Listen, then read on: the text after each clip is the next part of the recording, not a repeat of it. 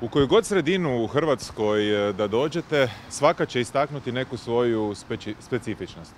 Međutim, unatoč svim tim specifičnostima, Zagrebačka županija odskače po jednoj koju nema niti jedna druga županija u Hrvatskoj. A to je da je sjedište Zagrebačke županije izvan njenih granica. Sjedište Zagrebačke županije nije niti u Velikoj Gorici, niti u Jastrebarskom, Zaprešiću, Samoboru ili Vrbovskom, ono je u Vrbovcu, ono je u Zagrebu. I siguran sam da to nije slika županije kakvu građani Zagrebačke županije žele. Isto tako, brojne rupe po cestama, nemanje ozbiljnih e, projekata nisu slika županije kakvu građani žele. Na nama u SDP-u je da to promijenimo i da stvorimo novu sliku županije.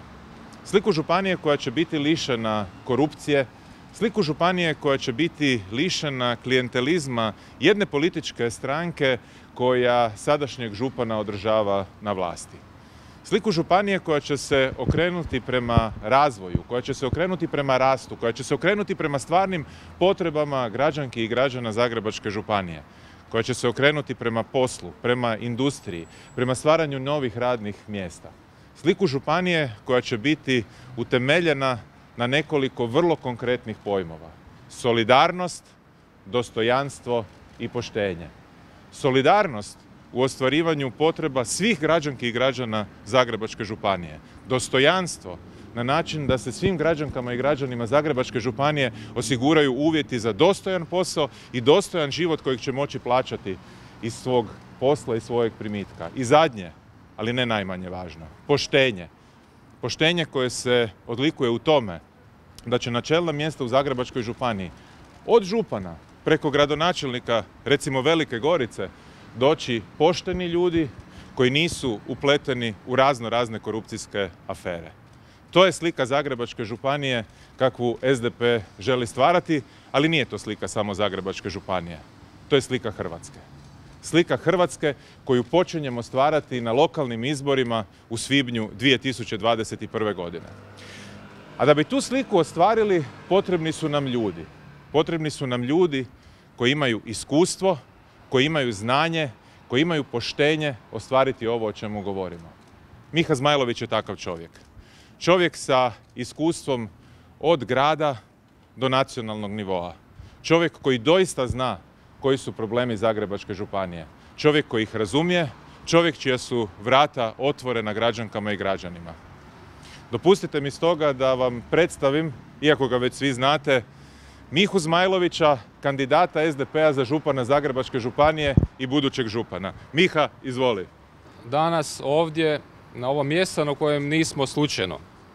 Nismo slučajno ispred hotela, jer ova županija se zapravo vodi ispred, iz hotela već 20 godina.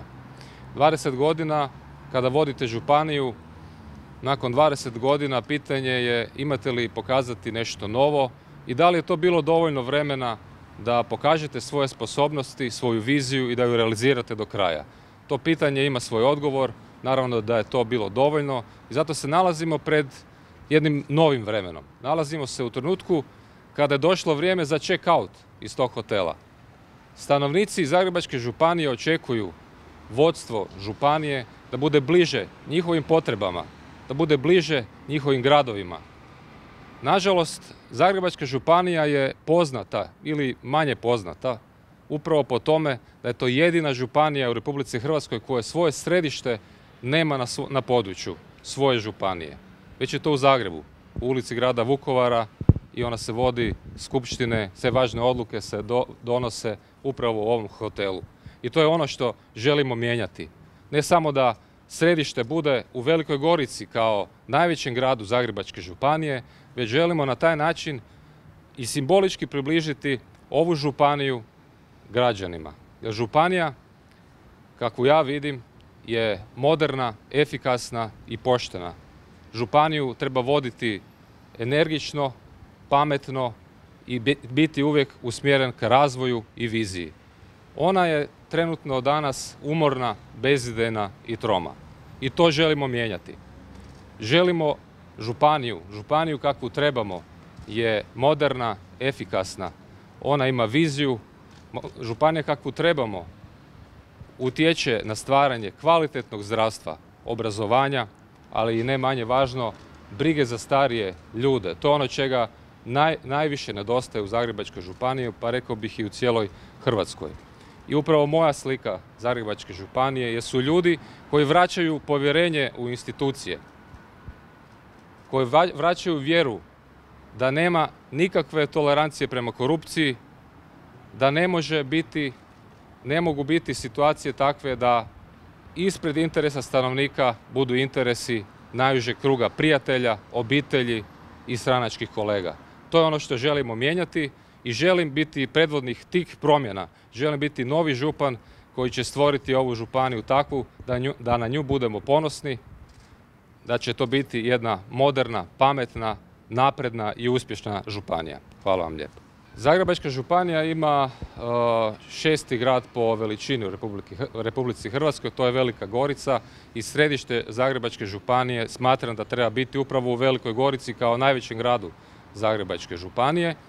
I isto tako svi ostali uredi, ispostave, upravni odjeli trebaju biti raspoređeni i u svih drugih devet gradova. Dakle, ljudi i u Zaprešiću, i u Svetom, Svetoj nedelji, Samoboru, Svetom Ivani Zelini, Vrbovcu, Ivanić-gradu, Jastibarskom i Dugom selu trebaju imati županiju kakvu zaslužuju. Ona treba biti bliže svojim građanima i to ćemo učiniti upravo na taj način. Da nemamo ove nelogične situacije, da je primjerice turistička zajednica, uredi turističke zajednice su u, e, u centru grada Zagreba.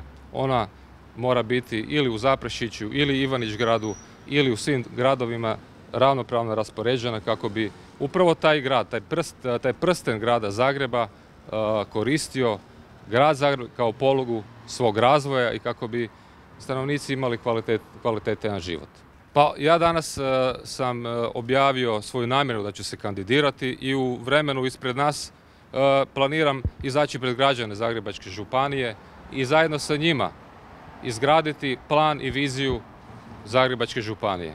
Ono sigurno što, na čemu ćemo raditi to je e, povećanje kvalitete zdravstvene usluge. To je ono što danas građanima najviše nedostaje. Sigurnost, zdravlje. E, nažalost, građani Zagrebačke županije nisu ni svjesni da je upravo ta Zagrebačka županija osnivač domova zdravlja, osnovnih i srednjih škola, svega onoga što utječe na kvalitetu života.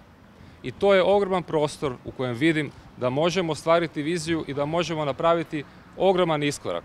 Jer nakon 20 godina vođenja županije koja je bezidejna, troma i usporena, ogroman je prostor za napredak i upravo u tom smjeru želim ići i ponuditi viziju i rješenja, konkretna rješenja za građane.